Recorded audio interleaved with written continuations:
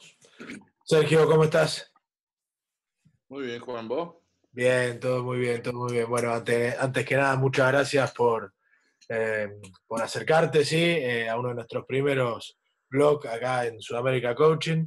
¿Por qué no nos contás un poquito, Sergio, sobre tu experiencia y sobre eh, los roles actual que, tenés en, en cuanto al rugby? Mi experiencia como entrenador o como individual, como jugador. Haceros un resumen de las dos, dale.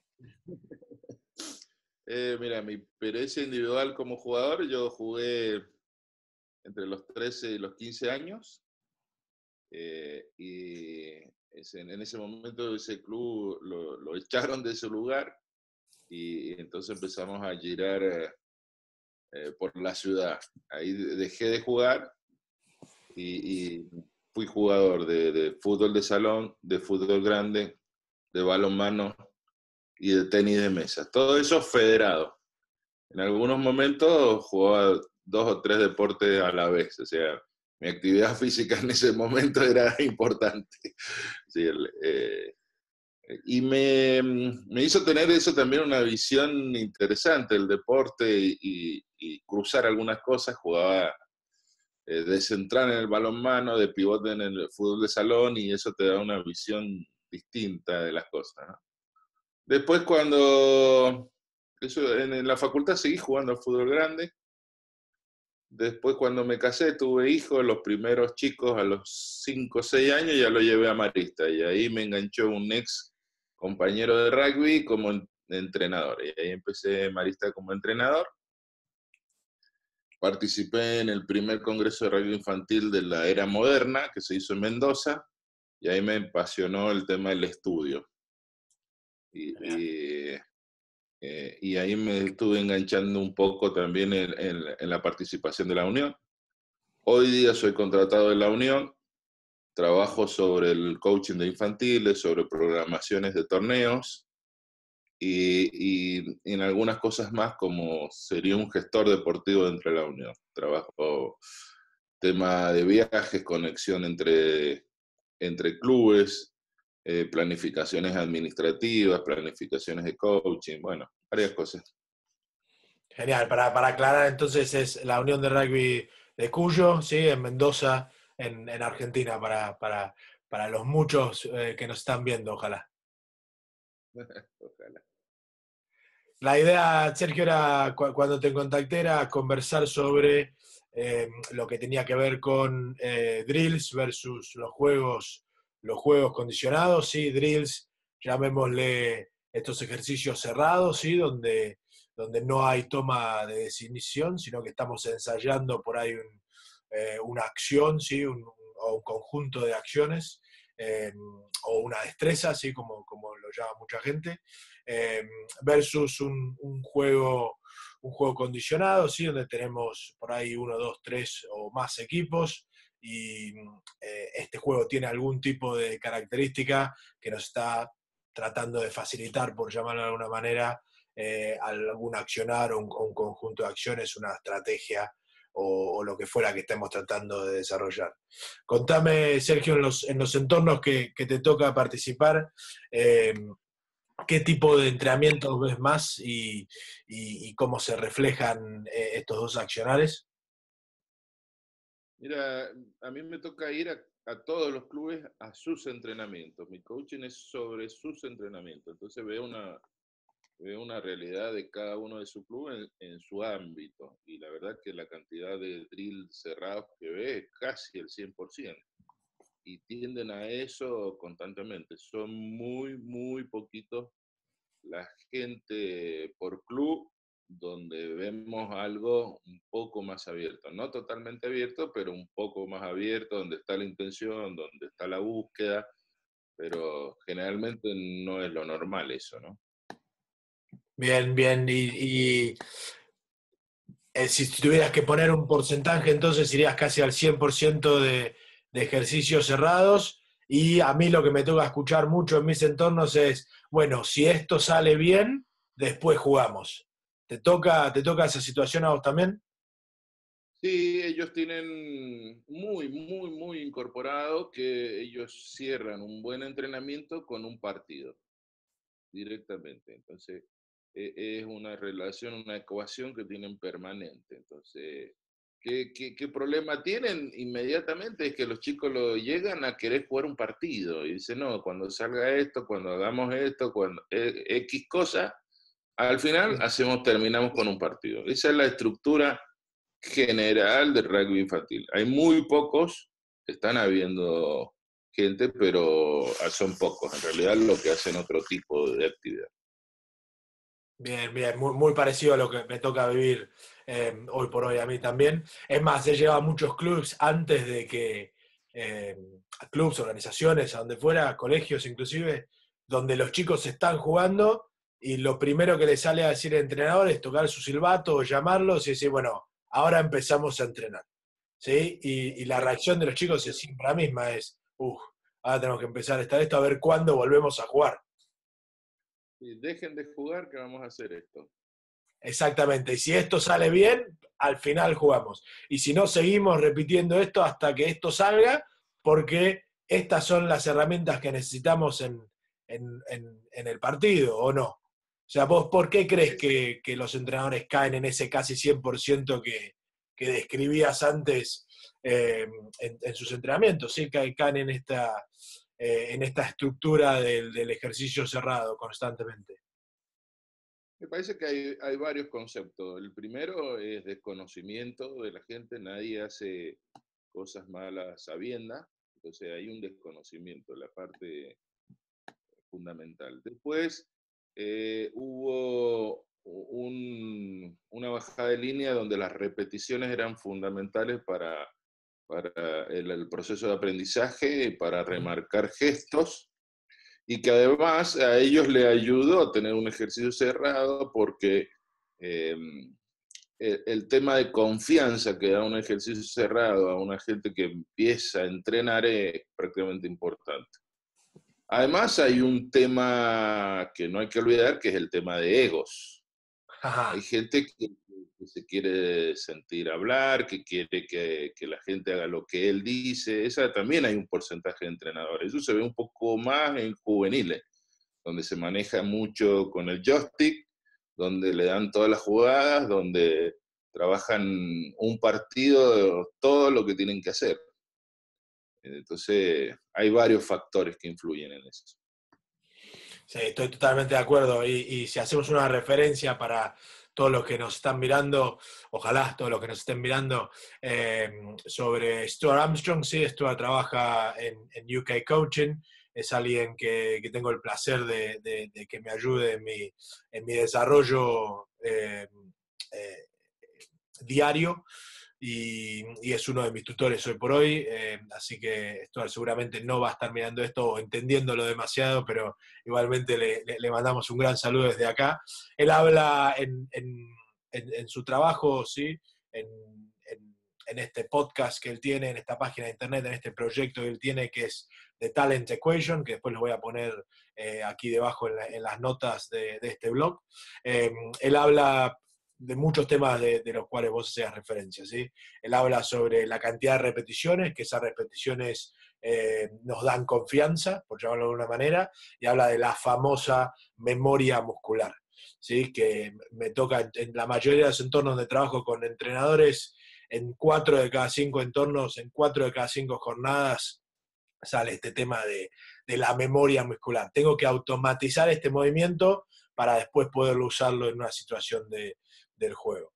Eh, y, siempre hablamos del, bueno, necesito estas, este conjunto de técnicas o de acciones para después aplicarlo dentro, dentro de, un, de un juego más, más organizado. ¿sí? El drill nos da estructura ¿sí? Eh, y organización. Entonces, para todos los que están mirando en ese momento, bueno, estos, estos chicos evidentemente están aprendiendo porque les está saliendo. ¿Pero qué les está saliendo en realidad? Les está saliendo esa acción en particular bajo esas condiciones, ¿sí? las cuales sería muy difícil de, eh, de, repetir en un partido. ¿sí? La famosa ola de pases en nuestro deporte que es el rugby. ¿sí? O, un, por ejemplo en el hockey, el esperar un pase, recepcionar y pasar, y pasar de nuevo al, compañero o a la compañera que tengo enfrente, ¿sí? Y ejemplos hay, hay miles. La realidad es que esa acción en un partido bajo esas condiciones es muy difícil que vuelva a pasar. Entonces Stuart habla siempre de cómo hacemos para poner a, los chicos, y a nuestros aprendices, en situaciones que realmente se parezcan a, la situación de ejecución que, en nuestro partido. Es muy difícil que, volviendo al ejemplo del rugby, ¿sí? yo tome la pelota contra nadie y mi proceso de, de toma de decisión sea volver a pasarla. Porque si no tengo nadie enfrente en nuestro deporte que es el rugby, ¿cuál es el primer fundamento? Y tengo que avanzar. Entonces, si no tengo a nadie enfrente, ¿por qué me voy a poner en situación de pasar? O mismo con la bocha en el hockey cuando recibo. Si no tengo a nadie adelante que eludir. Y bueno, ¿qué voy a hacer? Voy a avanzar, seguramente no, no, la pase. Pero por ahí me, interesa seguir eh, generando conversación alrededor de lo que, de lo que ves vos en, los observadores de estos entrenamientos. ¿Sí? Me contabas un poco qué, qué plantean los entrenadores. Contame un poco qué ves alrededor del entrenamiento, ¿sí? Con los observadores, con los papás, con los abuelos, ¿sí? Con, la gente que está alrededor viendo a estos chicos. Eh, pasando la pelota contra nadie o corriendo alrededor de un cono o entre dos varas o lo que fuera. Contá un poco qué, te parece a vos que les pasa por, la cabeza a ellos. Mira, eh, toda la periferia de ese entrenamiento que serían en, el régimen infantil muchos de los padres, ¿qué observa? Mientras están ocupados, mientras estén ocupados y estén haciendo algo, estaría bien. No, tampoco el padre se empieza a analizar si el chico está aprendiendo o no. Entonces, eh, eh, entonces, si el chico está repitiendo ejercicio, para el padre estaría, está bien, eh, es una forma de vender la actividad del entrenador, lo que están viendo ellos en ese momento nuestra realidad en rugby infantil, en el, en el rugby argentino, eh, fue ese camino. Primero nos encontrábamos chicos y nos fuimos todos a la parte física. Después teníamos físico y tampoco avanzábamos y nos fuimos todos a la destreza en un drill cerrado. Y ahora le está cayendo la ficha de que los jugadores no están entendiendo el juego. Entonces vamos a, a destrezas abiertas y, y, empiezan a generar eh, contenidos nuevos referidos a, las tomas de decisiones. Un proceso que podría haber sido al revés, pero bueno, nos llevó a equivocarse y volver a empezar y, ahora estamos generando contenidos de destrezas abiertas. Tal cual, pero la realidad es que no me sorprende que los chicos, como, como decís vos, no estén entendiendo el juego, una cuestión de que en sus entornos de preparación eh, no, se no se les está planteando el juego sino que se le está planteando una acción aislada, ¿sí? de repetición en una situación irreal, la cual no encuentran nunca en el juego. Entonces, esas herramientas que, le, pensamos que les estamos dando, en realidad son un poco antídotos, ¿sí? son, son antónimos de lo que van a encontrar el sábado en el partido. Sí, sí, no, son irreales en realidad. Ni el tiempo, ni el espacio, nada. Entonces, cuando se encuentran en el partido, no es algo que ellos practicaron ni tienen presente. Eh, Tal cual, y, la mayoría de estos, de estos drills o de estos ejercicios cerrados generalmente son con una, bueno, sin oposición o con una oposición muy pasiva, eh, con algo que es totalmente real, porque, eh, a ver, la realidad de, de cualquier deporte de, conjunto acíclico es que tenemos un contrario enfrente que nos está planteando eh, problemas, ¿sí? que nos está impidiendo o que nos está tratando de, de alguna forma de alentizar ¿sí? lo que nosotros estamos tratando de hacer. Em, y si no ponemos a nuestros jugadores en situaciones donde tengan contrarios, ¿sí? en realidad les estamos eh, dando un poco lo que llama Stuart eh, comida chatarra o comida rápida. ¿sí? Les estamos dando ese, ese accionar ¿sí? inmediato en donde ellos sienten esa satisfacción que les está saliendo y después cuando lo tienen que, tratar de ejecutar en un partido, la mayoría de las veces no pasa, ¿sí? ¿Cuántas veces te ha pasado, Sergio, de decir o de escuchar a conversaciones de entrenadores con sus jugadores, decir, pero, pero muchachos, pero chicas, esto lo practicamos en la semana, ¿cómo es que no está saliendo? Permanentemente. Y cuando en, el drill ponen oposición, la ponen totalmente guiada. La oposición tiene que hacer esto, tiene que hacer lo otro. Que es un cono móvil prácticamente. Exactamente, sí, para seguir facilitando ese, ese éxito inmediato. Sí, sí, sí, el éxito también de ese ejercicio, el éxito entre comillas, ¿no? De ese ejercicio para que termine saliendo. Contá un poco, Sergio, en tu deporte en particular, que es el rugby, em, ¿cuántos de estos famosos movimientos predeterminados o jugadas eh, ves en los entrenamientos? ¿A partir de qué edad los ves? ¿Y, cómo ves que, se refleja esto después en los partidos? Eh, los movimientos empiezan en, la Argentina en M14, cuando empiezan a, tener cancha total. Antes tuvimos todas las canchas adaptadas. Al tener cancha total, el primer eh, excusa del entrenador es ordenarnos dentro de la cancha. Vamos a ordenarlos dentro de la cancha para que puedan jugar y, y ahí empezamos a a manejarlos con un joystick. Vos te parás acá, vos te parás allá. Eso desencadena después en plantearle dos, tres jugadas para que le salgan. Después en movimientos de mini unidad. Ese proceso va todo relacionado con dirección del entrenador, permanentemente, no con propuestas de, eh, que, que, nosotros trabajamos de empoderar al jugador. Es un tema muy difícil de que del que el entrenador le entregue el poder al jugador, al grupo, al equipo. Ese, ese proceso no lo tenemos adaptado. Son muy pocos los entrenadores que ahora, con este coaching nuevo, empiezan a, ensayar y a ver. Tenemos, gracias a Dios tenemos, hay gente muy entusiasmada y que está buscando ese, e, ese equilibrio, si darle un, un esquema básico y después de todas las decisiones que pasen por los chicos o no, pero desde M14 en todo el proceso juvenil es donde tenemos ese problema. Sí, estoy, de acuerdo y la verdad que con los clubes que me toca trabajar en Sudamérica en general y en Argentina, eh, la, situación es, la situación es muy parecida. Y siempre hablo con los entrenadores de estos juegos o de estas jugadas predeterminadas. Eh, y la realidad es que si este tipo de entrenamiento funcionara, cada vez que yo ejecuto eh, un movimiento predeterminado, tendría que en nuestro caso, cortar la defensa, ¿o no?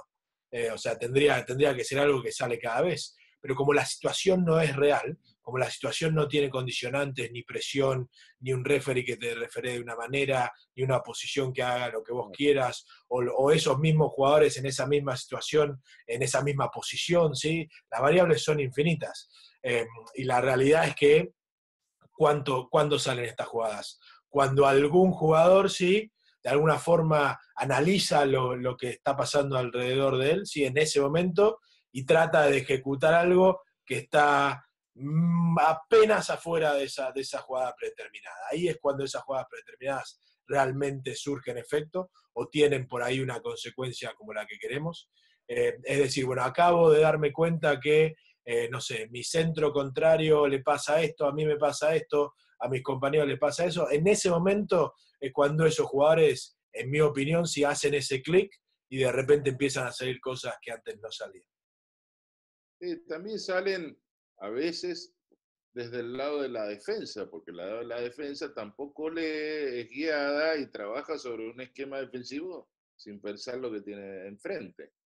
Entonces ese es un problema que tenemos que a veces salen esas jugadas, salen por otros, por otros contextos y, la excusa del entrenador salió porque hicieron exactamente lo que yo dije. Exactamente. Cuando no sale, no hicieron lo que yo dije. Y bueno, esa es una lucha permanente que tenemos. Estoy de acuerdo. Es más, eh, hay muchos autores y muchos entrenadores eh, con, los cuales también tengo la suerte de interactuar acá, acá en el Reino Unido, eh, que están hablando de muchas preguntas intrínsecas y empiezan a hablar de, bueno, a ver, preguntarle a tus jugadores, contame qué, viste, contame qué sentiste, contame cómo te golpeó, si era un deporte de contacto, o contame cómo estás recibiendo la bocha y, por qué estás teniendo ese accionar. Ah, bueno, genial, y bueno, a ver, contame cómo puedes hacer para, para mejorar en esta situación. Si ponerlos a ellos en situaciones, a ellos y a ellas, en situaciones de resolución de problemas constantes. ¿Por qué? Porque nuestra función como facilitadores es decir, bueno, eh, voy a plantearles la mayor cantidad de problemas eh, a estos aprendices para que puedan tratar de asimilarse a las experiencias que les va a pasar el sábado o el domingo cuando sea en esos entornos de ejecución en sus, en sus partidos. Entonces, yo como facilitador, ¿cuál es mi, eh, cuál es mi prioridad? ¿Sí? Prioridad es una, es una palabra en singular. Eh, yo quiero brindar la mayor cantidad de, problemas posibles. ¿sí? Tratar de plantearles problemas todo el tiempo y después tratar de, de, facilitar ese encuentro con, bueno, a ver qué hubieras hecho acá, hubieras hecho esto, bueno, eh, y si por ahí si te tengo que dar una mano extra, te doy una mano extra, te digo, bueno, a ver, pensá por ahí qué pasa si, si, si probás esto.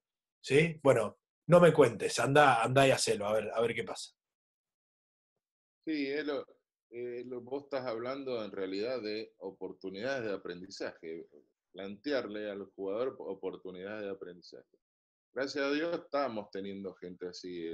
A 17 de Marista tuvimos un un ejercicio no hace mucho donde durante el partido le preguntamos al centro qué es lo que había pasado en la defensa y el chico contestó algo que el entrenador no estaba viendo. El entrenador el que hizo la pregunta, es muy pro con el sistema, o sea, terminamos con una experiencia interesante. Lo estamos viendo en nuestros seleccionados juveniles, donde Eusebio Guiñazú viene con esa experiencia de afuera, los hace pensar, se adapta a la situación de los chicos. Por ejemplo, los videos, cosas simples, los videos que uno ve de partido y jugada, los expone y ahora los expone en el teléfono, porque su hábitat es el teléfono de los chicos. Entonces, cuando hablamos de centrado en el jugador y en oportunidades para el jugador, son esas cosas, estar pensando qué es lo mejor para los chicos, ¿no?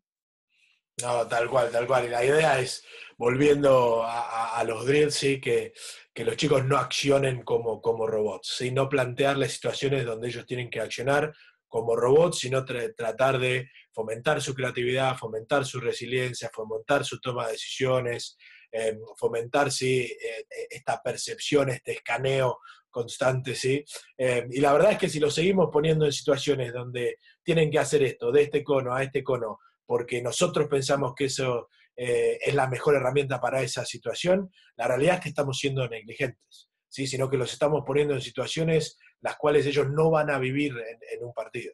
Eh, entonces creo que como facilitadores tenemos que empezar a movernos de esa situación. Eh, voy a usar una palabra que usaste vos, que, es empoderarlos y darles responsabilidad.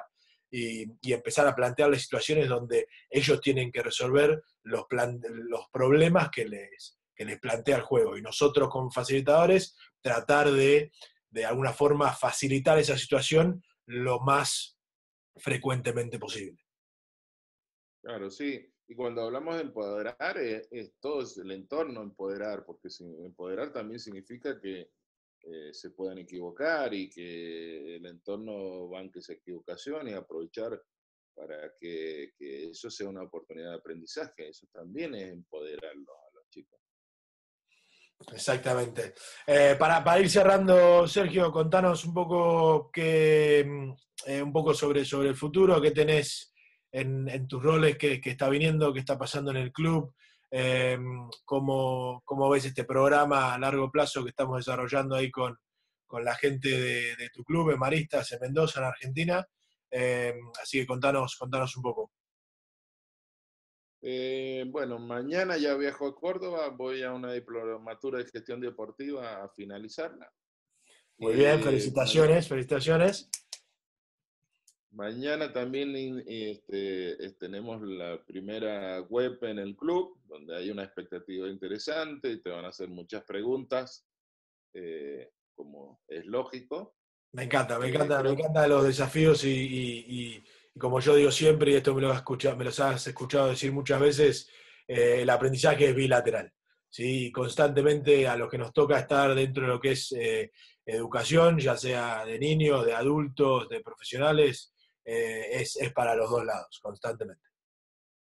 Sí, yo creo que lo bueno es intentar transformar este coaching en un plan de coaching en una continuidad. Me parece que ahí está la, la, diferencia, la clave, que es el seguimiento, seguir hablando.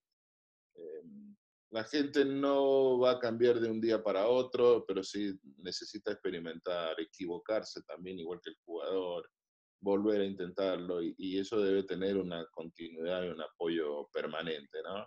Y entre todos ir avanzando, buscando soluciones.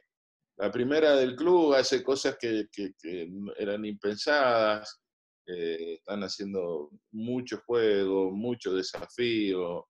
Hace poco, ante un, partido importante, los chicos no querían dejar de entrenar por seguir jugando y, y ahora terminémoslo y estuvo muy divertido. Así que, bueno, proceso, lo importante es que esto tenga continuidad, me parece que ahí está un poco la clave. Genial, genial. Bueno, Sergio, la verdad que agradecerte un montón por, em, por haber accedido a, grabar e, este blog. Em, mandamos saludos ahí a toda la gente que, hemos nombrado, sí, a Eusebio, a la gente de Maristas, de la 17 y todos los entrenadores que, con los cuales estamos trabajando en, conjunto. Eh, agradecerte yo en lo personal, eh, porque sé que sos un tipo con una agenda muy, muy ocupada, que siempre anda de acá para allá con, su famoso Renault, yendo a todos los clubs. Eh, así que bueno, te mando un fuerte abrazo desde acá, te agradezco un montón y estoy seguro que esta es la, primera entrega de, un montón de, grabaciones que van a venir en el futuro. muchas gracias Juan y la verdad que, esto siempre es enriquecedor y está bueno ayudarnos a formarnos y a, y a mejorar, ¿no? Genial. Eh, un, gran, un gran approach en cuanto a la mentalidad de crecimiento que seguro va a ser otro, otro de nuestros capítulos. Te mando un fuerte abrazo desde acá, Sergio, y seguimos en contacto. Gracias.